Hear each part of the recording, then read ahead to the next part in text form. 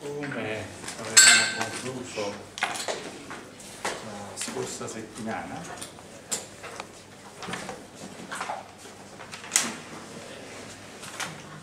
è arrivato il momento di montare un po' pagina, nel senso che siamo riusciti a completare il vasto panorama dei cosiddetti impianti motori termici, li abbiamo studiati tutti. Eh, per fare questo chiaramente eh, abbiamo introdotto un po' di concetti di, di richiami, di concetti, alcuni concetti di termodinamica, un po' concetti basi sui principi di combustione e, e via discorrendo abbiamo concluso con alcuni, alcune considerazioni sulla generazione contemporanea di energia termica ed elettrica, la cosiddetta cogenerazione, e con quella quindi abbiamo detto possiamo considerare concluso l'argomento, il vasto argomento degli impianti motori termici. Eh, quindi adesso eh, come impianti motori, come impianti per, ancora per la produzione di energia meccanica, ma poi come vedremo sostanzialmente elettrica, eh, ci resta ancora un impianto da studiare, però non è più termico perché appunto è un impianto che non sfrutta più l'energia termica che abbiamo visto prodotta nella maggior parte dei casi dalla, dalla reazione di combustione che sfrutta quindi l'energia potenziale chimica del combustibile, ma studieremo appunto quelli che sono gli impianti motori idraulici, quindi quelli che sfruttano l'energia potenziale eh, idraulica. Però eh, è arrivato il momento prima di vedere queste cose anche perché eh, avremo bisogno di, alcune,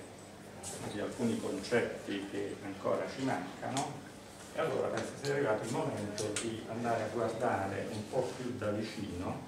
il funzionamento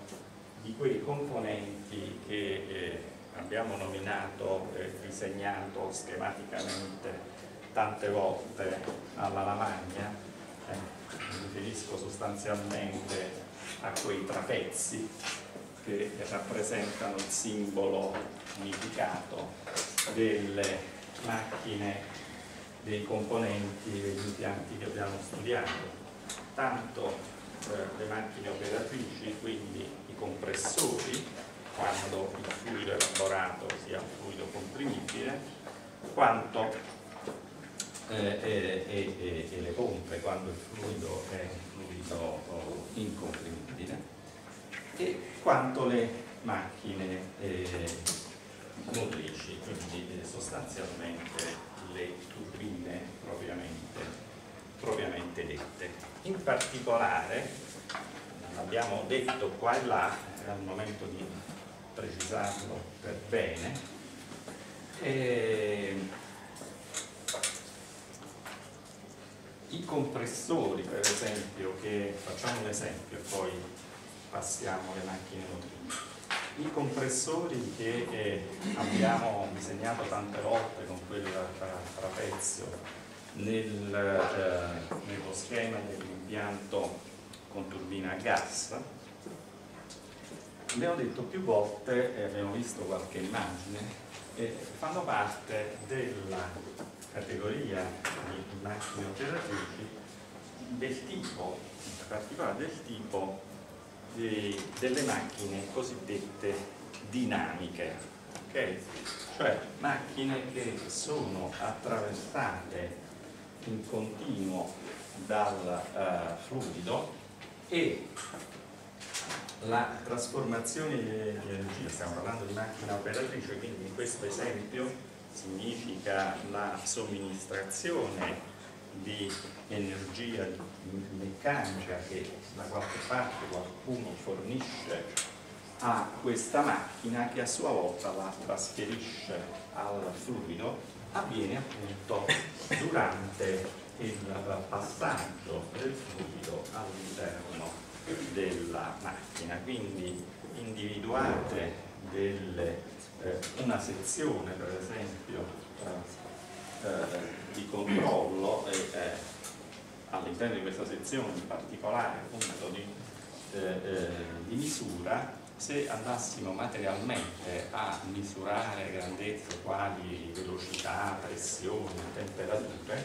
in quel punto noi troveremo che queste non variano al,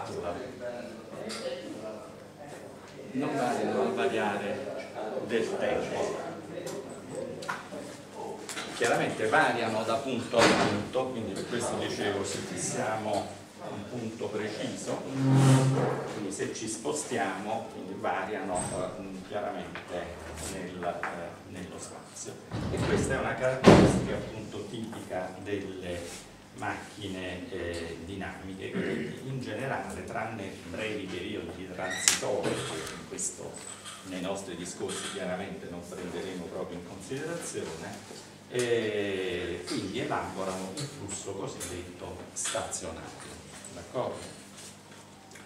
E, e, al contrario della macchina volumetrica, sempre per fissare regole, vediamo il compressore volumetrico, il compressore volumetrico che assomiglia eh, eh, a guardarlo, solo a guardarlo, assomiglia per esempio, il volumetrico alternativo, assomiglia al motore cui ci siamo, al motore a combustione interna di cui ci siamo occupati eh, eh, recentemente, perché appunto è compressore diciamo, il più semplice, il più antico tipo di compressore era del tipo volumetrico che si basava sul principio che se io racchiudo all'interno di questo volume una certa massa fluido e grazie ad uno stantuffo per esempio messo qui mosso dal solito cinematismo di spinta rotativa ma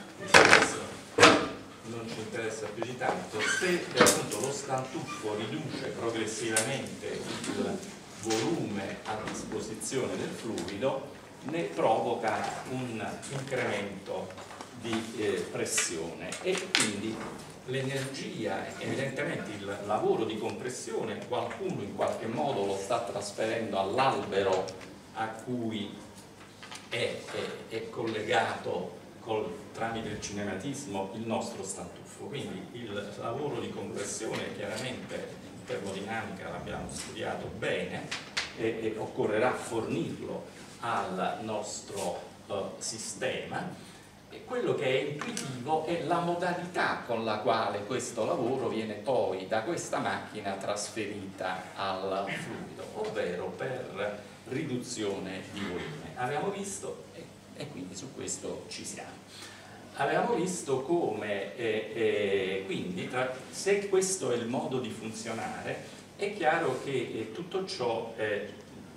non può prescindere dal fatto che, come abbiamo detto a suo tempo più di una volta, evidentemente questa tipologia di macchina che realizza quindi la trasformazione eh, in questo modo non può fare a meno di quelle due operazioni eh, eh, propedetiche al funzionamento stesso della macchina, ovvero in un primo momento occorrerà riempire di fluido il, eh, eh, il nostro eh, sistema, la nostra macchina, poi si interrompe la comunicazione con l'ambiente, avviene la trasformazione termodinamica, dopodiché occorrerà eh, effettuare la eh, mandata, si dice così parlando di un eh, compressore, la fase di mandata, ovvero si fa arrivare all'utente, qui ci sarà qualcuno, qualcosa, che ha bisogno di questo fluido ad una pressione P con 2 è maggiore eh, rispetto alla pressione P con 1 che aveva il fluido quando è stato eh, prelevato. E questo è il modo, ed è abbastanza intuitivo. Le macchine dinamiche eh, di cui ci andiamo ad occupare effettuano dal punto di vista termodinamico esattamente la stessa trasformazione, soltanto con una modalità eh, eh, completamente diversa. Eh, aggiungiamo cose che abbiamo, mi avete già sentito dire, no? però è arrivato il momento di metterle un po' in fila, in ordine, diciamo, è chiaro, quindi quello, mi rifaccio un attimo a quello che dicevo prima del flusso stazionario oppure no, è chiaro che questo tipo di funzionamento è al contrario dello stazionario, cioè che eh, eh, è fortemente non stazionario per questo modo di funzionare, cioè se io mi metto in un punto qualunque all'interno della macchina o anche eh, in prossimità, nel senso in questo condotto o in quest'altro, e, e, osservo quello che fa una certa grandezza, per esempio la, la, la portata di fluido che passa in questa sezione, è chiaro che al variare del tempo io avrò una variazione insomma, de, de, de, della massa eh, di fluido abbastanza che vedo passare, abbastanza evidente perché eh, eh, avrò il, eh, un certo valore di portata e variabile nel momento in cui questa valvola eh, eh, si apre, poi andrà a diminuire e per un certo periodo di tempo non passerà più nulla e poi di nuovo e via dicendo. Quindi questo è il, eh, un chiaro esempio, quindi macchina volumetrica, flusso non stazionario. Viceversa, quelle di cui andiamo ad occupare oggi, le macchine eh, eh, dinamiche, vedono un flusso che, ripeto, eh, può essere eh, eh, considerato, è da considerarsi, trascurando i, i, transitori, un flusso stazionario. Chiaramente il disegnino che vi avevo fatto prima, abbiamo detto, è più intuitivo evidentemente ho adoperato, scelto l'esempio del eh, compressore, nessuno ci vieta di fare eh, eh, la trasformazione inversa, cioè di fare una espansione in un espansore volumetrico di quel tipo e quindi parlare di macchine eh, eh, motrici. Chiaro, da un punto di vista poi della diffusione, gli espansori volumetrici, eh, come mh, o sapete o come vedremo sono molto poco eh, eh, diffusi oggi insomma. Quindi la macchina motrice per eccellenza oggi è una macchina dinamica appunto la, uh, la turbina. A meno di non andare a vedere eh, eh, come espansore volumetrico l'impianto motore a, a combustione interna fotografato nella sua fase di espansione. Quello è chiaramente un esempio di espansore volumetrico, però appunto non è soltanto un espansore il motore, è tutto un impianto, come abbiamo visto, particolare perché nella stessa eh, eh, geometria del, eh, eh dell'impianto eh, eh, si alternano le classiche trasformazioni termodinamiche, si alternano nel tempo ma avveng avvengono fisicamente nello stesso eh, eh volume. Okay. E quindi, diciamo, viceversa, se adesso cominciamo a guardare appunto, sempre per eh, fare un esempio, cominciamo a, a immaginare eh, una macchina dinamica che è motrice, quindi che debba eh, realizzare l'espansione di un fluido disponibile, per esempio, con una certa pressione T con 0, una certa temperatura T con 0, quindi un contenuto entalpico H con 0 e che entri nella macchina con una certa velocità c con 0 e che la lascia invece a una pressione T con 2, temperatura T con 2, entalpia H con 2 e velocità eh, eh C con 2.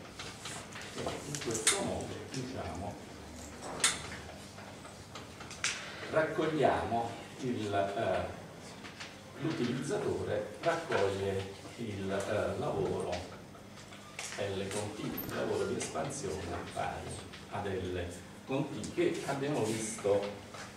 tante volte, chiaramente eh, preciso d'ora in avanti per agevolarci il eh, compito, per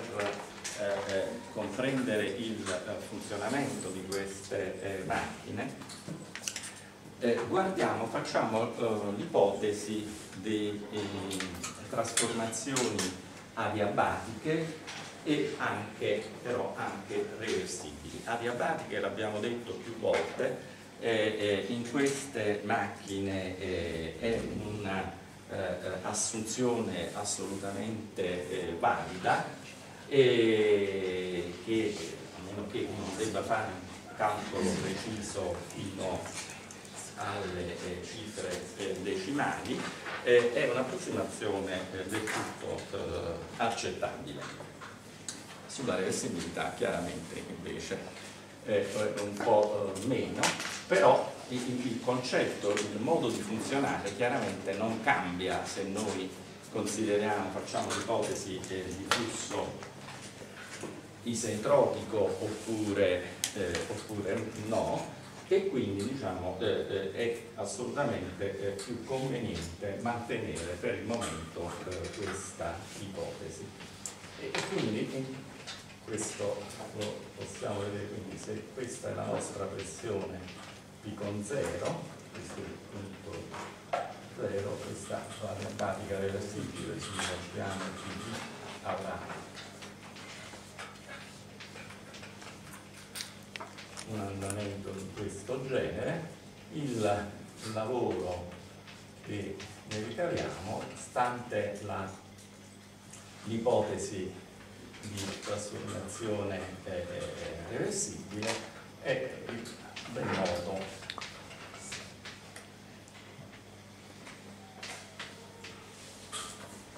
Ok? Altrettanto questa quindi è pari a quest'area ok?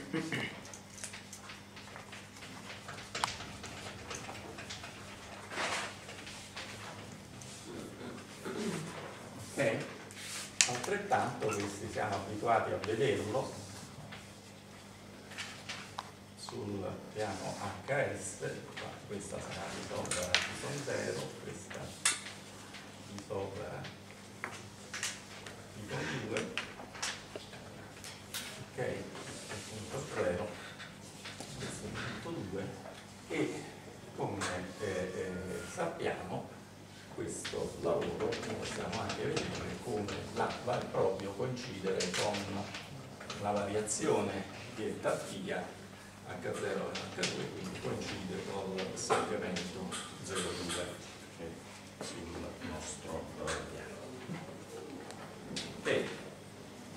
quindi è chiaro che la quantità di eh, lavoro che questa macchina riesce a produrre, a trasmettere all'esterno in termini di energia meccanica disponibile sul, sull'albero della, uh, della macchina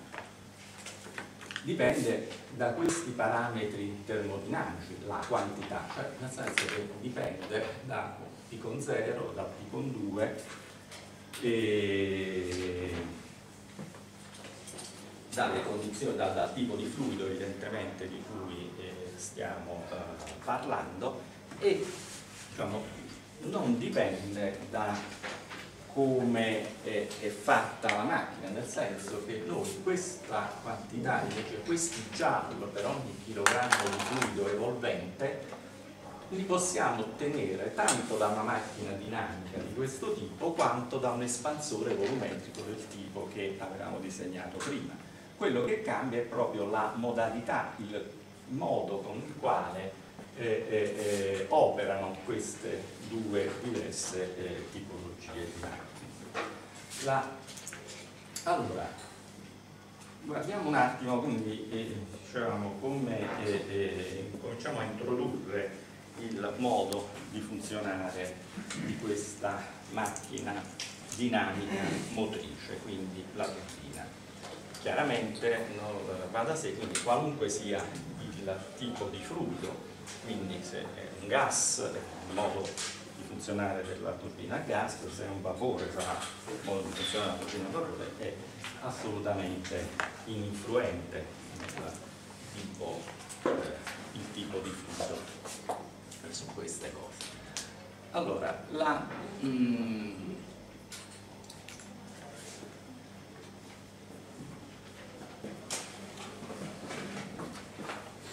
primo concetto che dobbiamo introdurre appunto, sta nella modalità che utilizza questa macchina per eh,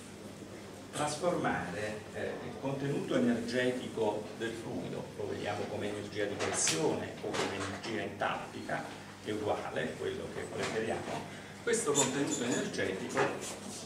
come facciamo a trasformarlo in lavoro, in energia meccanica disponibile sull'albero della macchina. Diciamo che la differenza di fondo con la macchina volumetrica sta nel fatto che eh, in questo caso, in generale, eh, questa trasformazione avviene in, eh, in, due, in, due, fasi, con un doppio eh, passaggio cioè nel senso che il fluido nelle condizioni appunto iniziali P0, T0, H0, C con 0 prima attraversa un condotto fisso diciamo una sorta di, di tubo poi vedremo meglio per il momento va bene questo tipo di in una sezione iniziale A con 0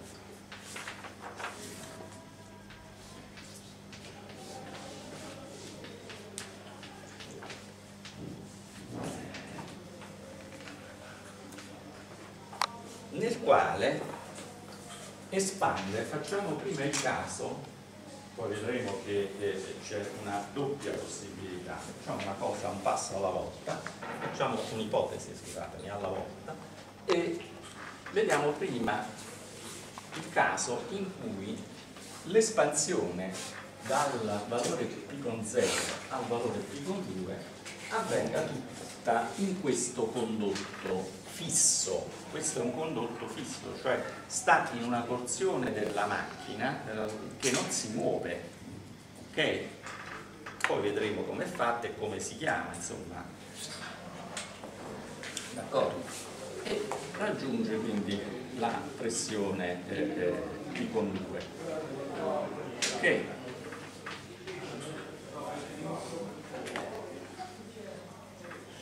Ora, quindi, che cosa è successo in questo condotto fisso? Questo è un condotto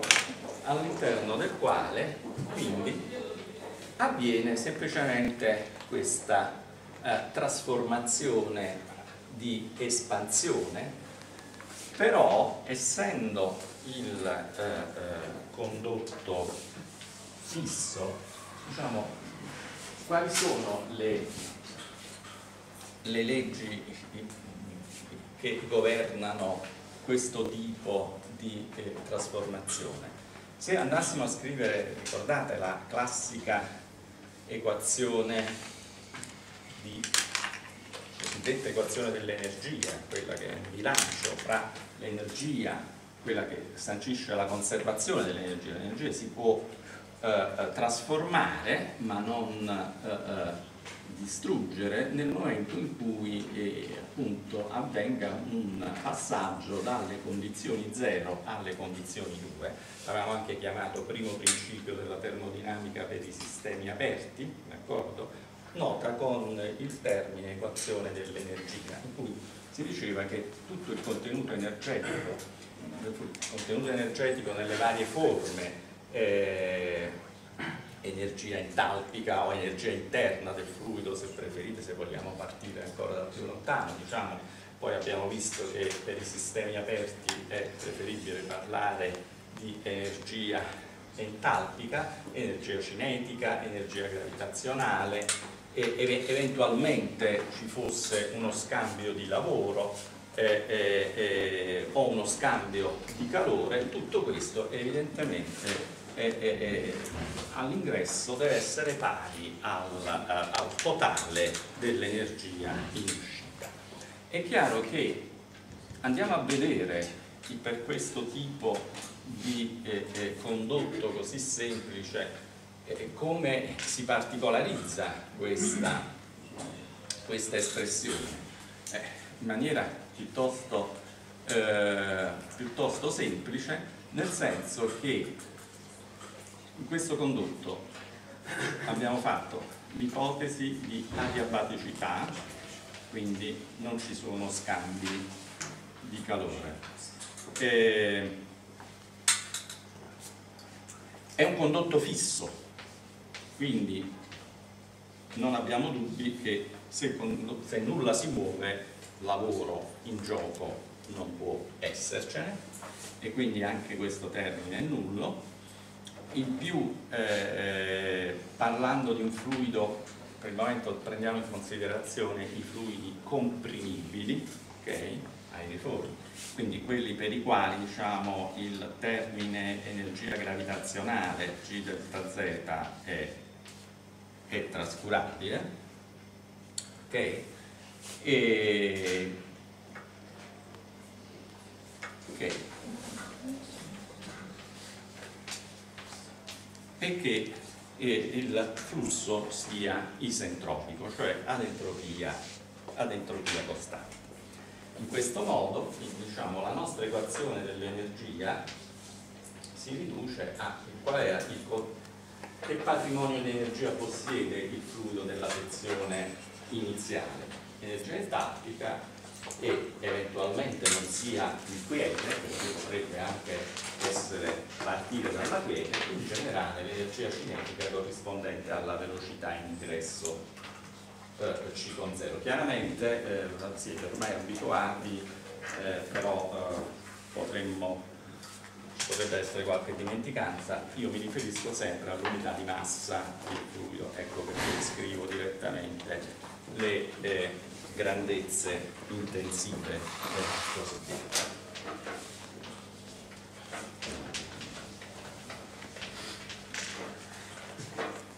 Bene e quindi chiaramente questo significa che la, uh, il fluido si impoverisce di energia entalpica e si arricchisce di energia, di energia cinetica. Tramite questa espansione praticamente abbiamo provocato una accelerazione del fluido e quindi rendiamo disponibile alla nostra macchina per il momento abbiamo effettuato solo una trasformazione di energia da una forma all'altra lavoro ancora non, non si vede né si può vedere appunto avendo parlato di un condotto fisso. Materialmente le cose funzionano proprio così, ovvero quello che accade appunto è una prima trasformazione dall'energia di partenza, energia di pressione o energia entalpica come l'abbiamo scritta qui in energia cinetica ok? A questo punto il fluido con questo elevato contenuto di energia cinetica entra nella parte mobile della macchina, la vedremo tra un attimo, precisiamo prima un po' di cose, poi eh, il proiettore e cambiamo scenografia. E, e nella parte mobile della macchina in, e quindi in questa parte, poi vedremo, ripeto, come materialmente succede, però diciamo da un punto di vista energetico è importante chiarire prima questi aspetti, ovvero che nella parte fissa abbiamo trasformato il patrimonio iniziale, energetico iniziale del fluido in energia cinetica e poi chiaramente nella parte mobile andremo a trasformare l'energia cinetica in energia meccanica. E con questa appunto scelta, con questo caso, eh, come abbiamo detto, quindi facendo in questo modo andiamo a eh, mettere a disposizione della eh, parte eh, mobile della macchina il, eh, eh, praticamente energia cinetica ottenuta a spese del contenuto iniziale energetico del fluido. Lo facciamo prima espandere, quindi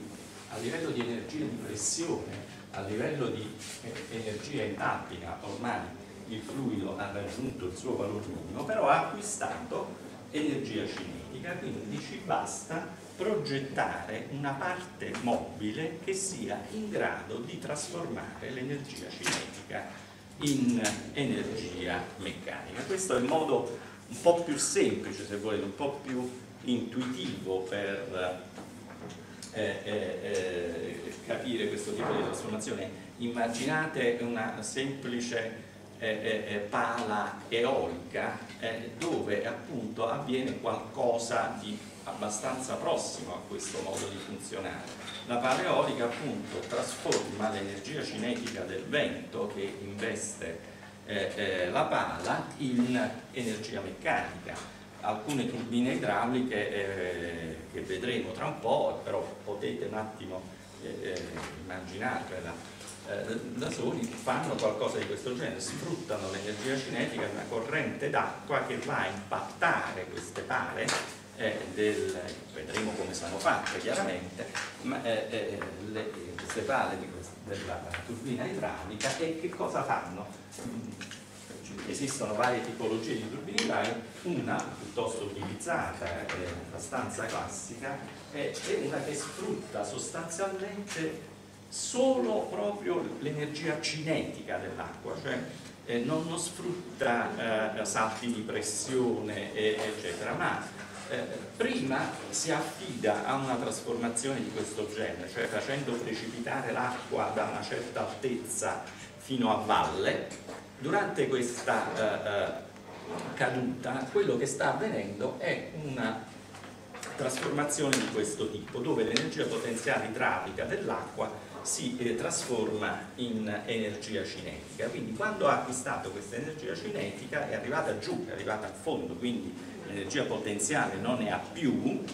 quindi energia di pressione non ne ha più, va a impattare le pale di questa uh, macchina idraulica, di questa turbina idraulica e trasformerà quindi l'energia cinetica in energia meccanica. E questo diciamo è un modo eh, eh, piuttosto eh, eh, semplice per introdurre questo ed è una tipologia appunto di macchina dinamica che utilizza, eh, che sfrutta in questo modo. Tra un po' daremo anche un nome a, a, a questo modo di funzionare delle, delle macchine dinamiche. prima quindi di passare a, avanti vediamo un attimo un po' più eh, da vicino questo.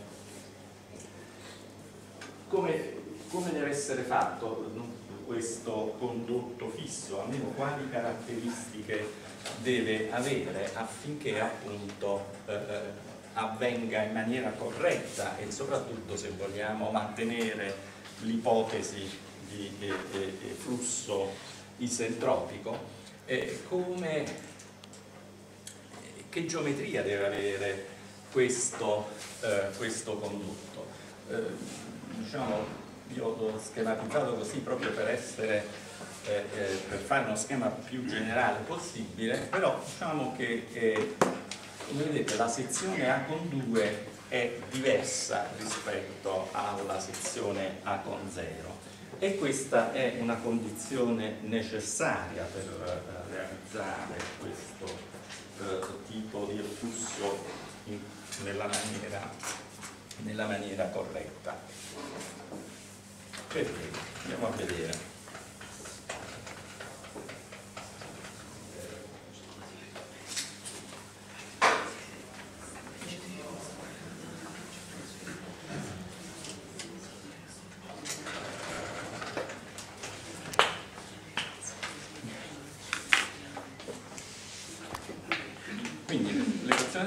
L'energia l'abbiamo scritta nella forma termodinamica classica, l'abbiamo scritta prima, eh, eh, quella stessa equazione un po' rielaborata si chiama equazione in forma meccanica, dell'energia meccanica, è quella che appunto altrettanto ci dice che l'energia eh, di, di pressione e eh, l'energia cinetica del, eh, eh, del fluido eh, rimangono costanti. E quindi questa significa che questa possiamo scrivere anche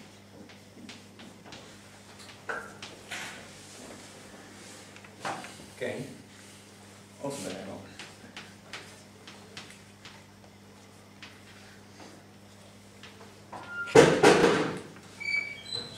in termini, questa era in termini finiti e questa in termini infinitesimi. E questa teniamoci questo, questo risultato. L'altra cosa che occorre evidentemente rispettare è che la portata che entra qui dentro evidentemente esca da qui, cioè la portata Rho a C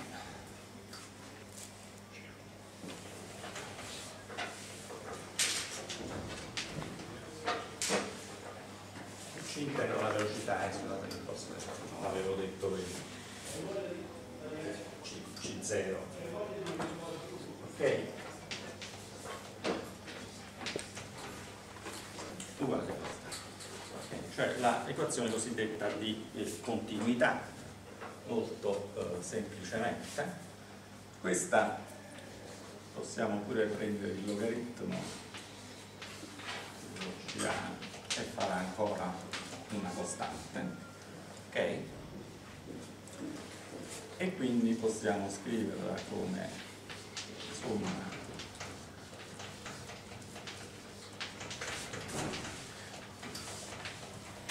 se la differenziamo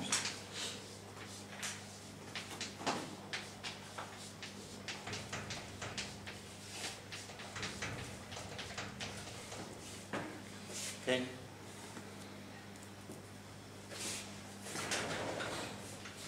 verrò mi serve qualcosa per questo verrò allora eh, Prima di tutto eh, posso, questo è un fluido comprimibile, quindi eh,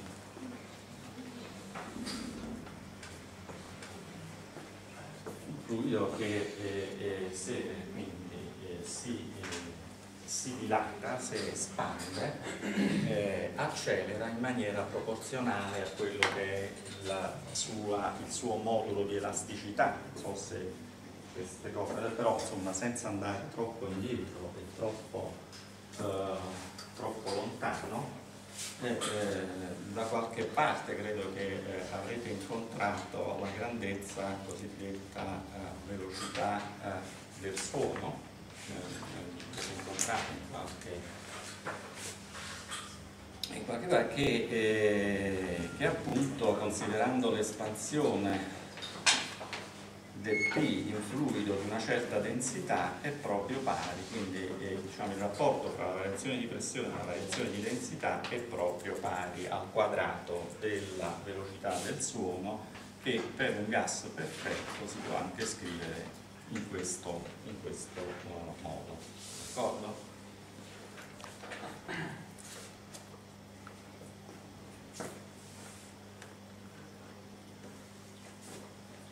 però lo posso scrivere come GP su A quadro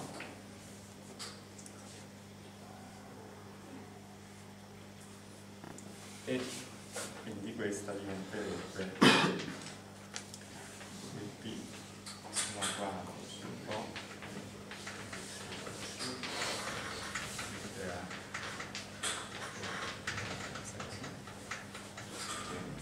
però del P l'avevo scritta qui posso anche scrivere così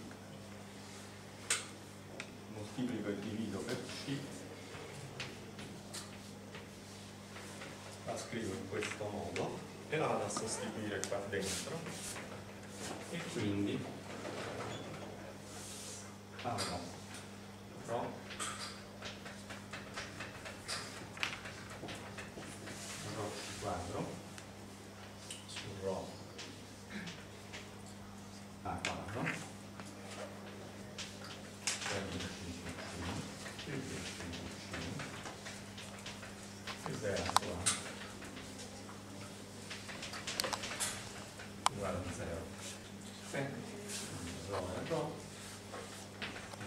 della velocità del fluido rispetto a quella del suono è un eh, caratteristico rapporto di eh, velocità che si chiama la corretta M, numero di Mach, ok? C su A.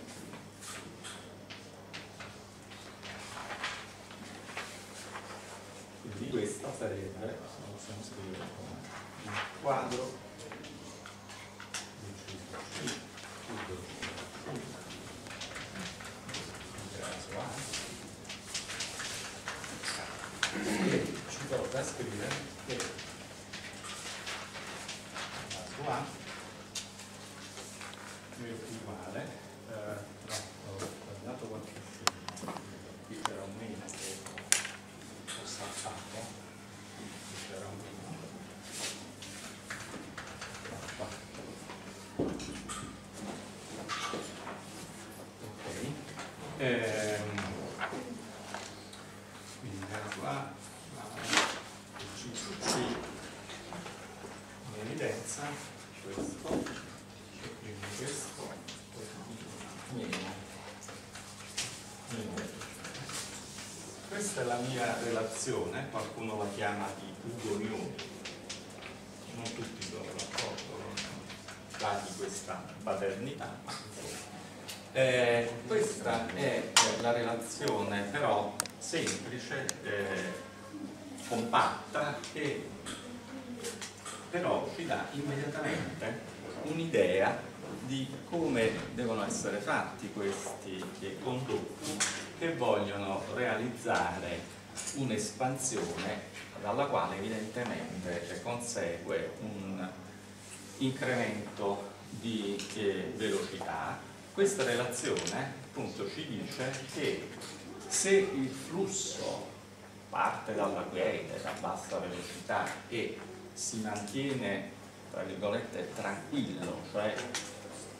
finché non raggiunge la velocità del suono, quindi il flusso subsonico, eh, questi segni qui dentro ci dicono appunto che ha un incremento di velocità del fluido che consegue alla diminuzione della pressione, quindi stiamo facendo l'espansione, l'energia di pressione si trasforma in incremento dell'energia cinetica, a questo incremento di velocità del fluido evidentemente dovrà seguire, dovrà essere realizzato all'interno di un condotto convergente, cioè a sezione decrescente. ok?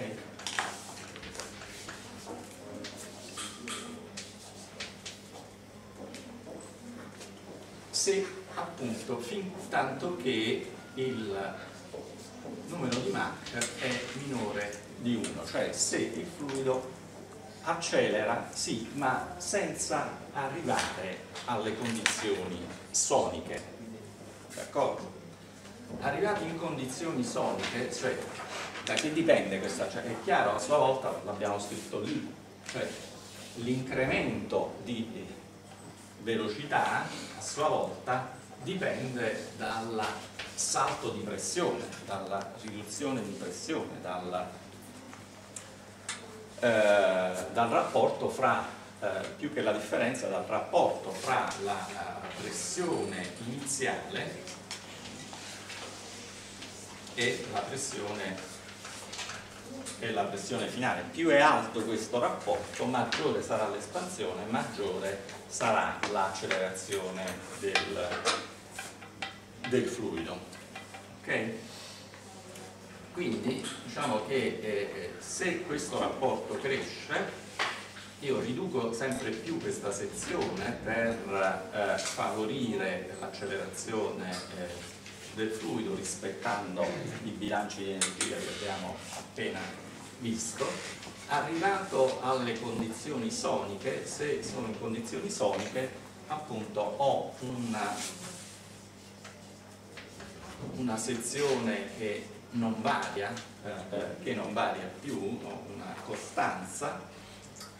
d'accordo? E se però dovessi realizzare una ulteriore espansione dal, eh, perché appunto il rapporto tra la pressione iniziale e quella finale, diciamo, qui ho la pressione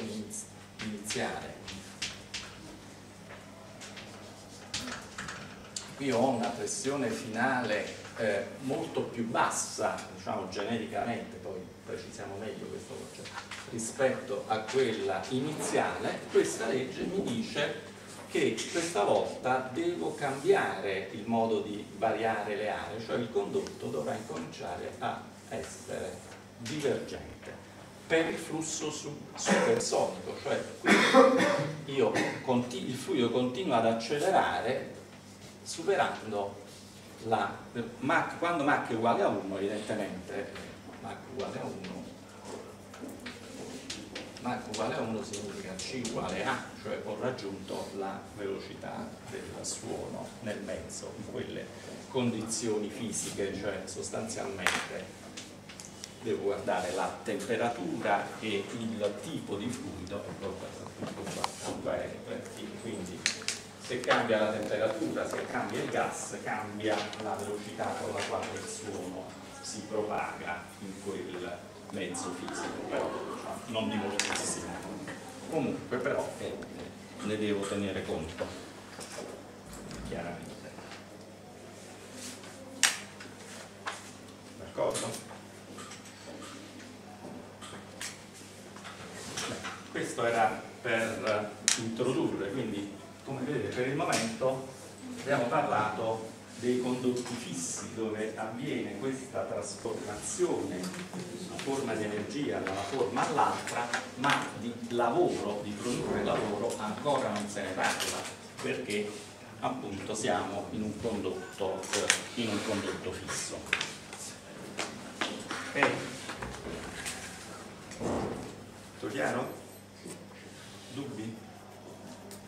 complexidade.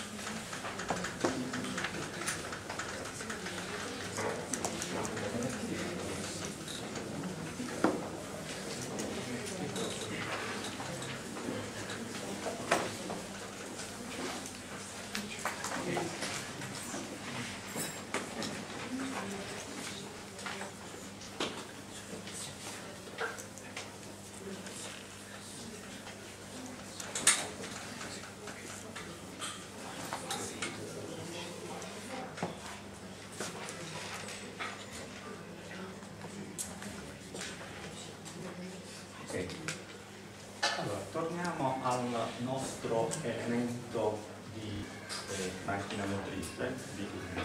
quindi abbiamo detto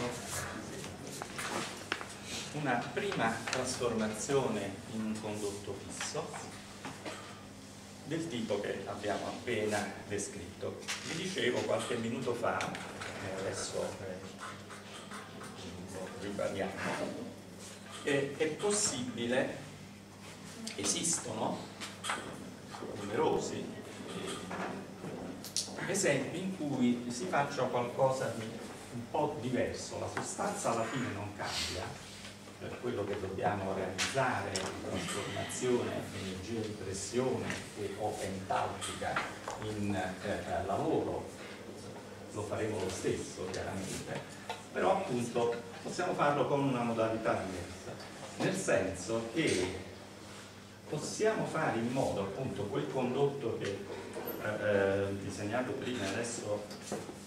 ho cancellato possiamo fare in modo tale che nel condotto fisso l'espansione avvenga fino ad una pressione intermedia, per esempio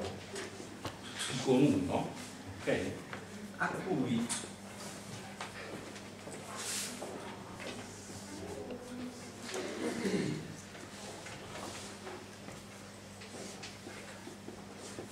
quindi una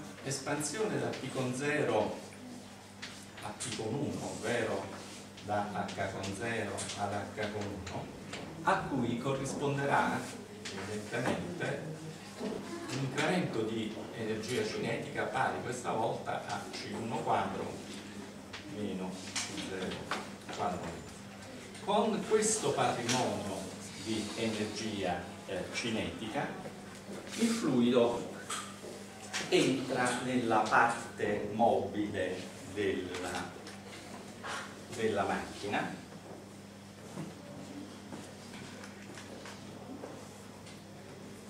Solo che ora questa parte mobile dovrà essere progettata, disegnata in maniera un po' diversa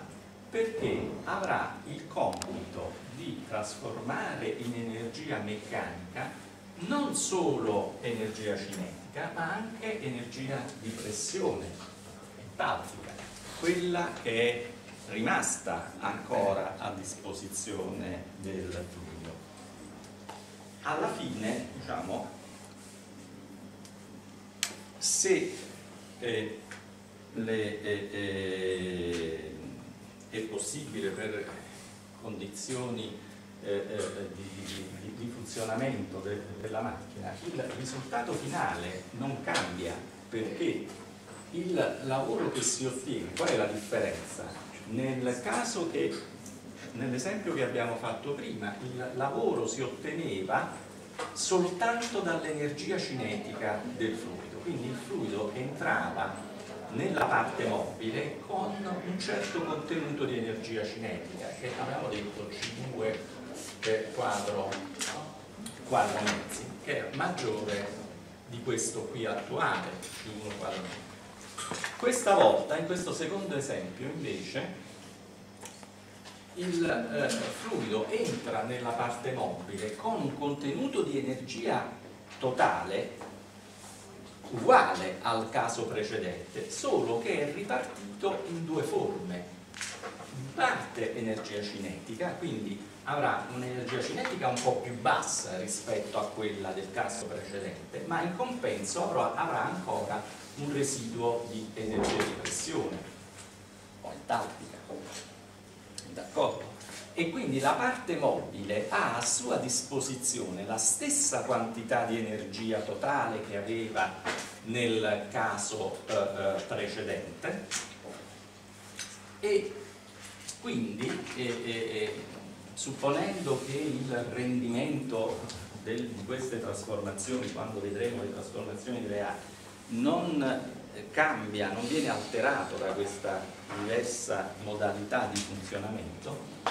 e a parità appunto di noi possiamo senz'altro affermare, la termodinamica è questa, possiamo senz'altro affermare che il lavoro L continu ricavato nelle due modalità è sicuramente lo stesso. Cambia il modo con la quale eh, viene eh, eh, ripartita l'energia che si mette a disposizione della parte mobile. Vi ricordo, solo nella parte mobile noi abbiamo la produzione di energia meccanica di lavoro, mentre nella parte fissa che precede la parte mobile abbiamo solo una trasformazione di energia da una forma ad un'altra. Non ce lo dimentichiamo questo. Okay?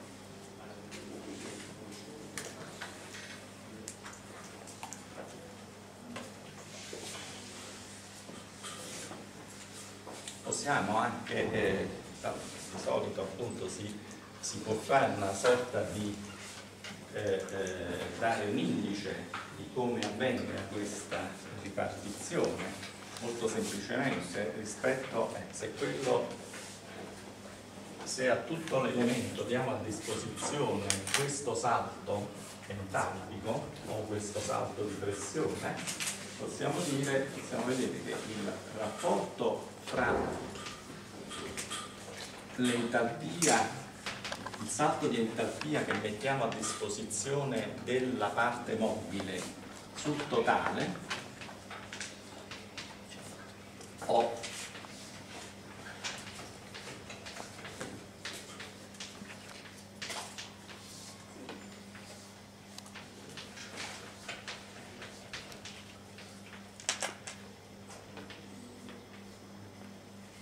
si chiama grado di reazione, si indica con la lettera R maiuscola, non mi chiedete perché, insomma, sia un nome un po' strano, ma eh, questo modo appunto eh, eh di eh, ripartire l'energia identifica questo grado cosiddetto di reazione che è evidentemente un parametro adinazionale che varia fra 0 e 1, nel senso che nell'esempio che abbiamo fatto prima, quando io facevo avvenire tutta l'espansione da, da P0 fino a una pressione che coincideva con la P con 2 nella parte fissa, evidentemente questo numeratore è uguale a 0, ok? le macchine eh, eh, con grado di reazione uguale a 0 si chiamano macchine ad azione R uguale a 0 macchina.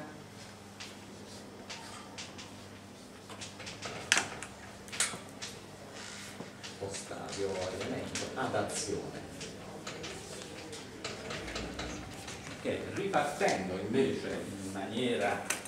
evidentemente a seconda di come spostiamo questa isobara intermedia fra P con 0 e P con 2 otteniamo elementi cosiddetti a reazione. Per R maggiore di 0 abbiamo gli elementi a reazione.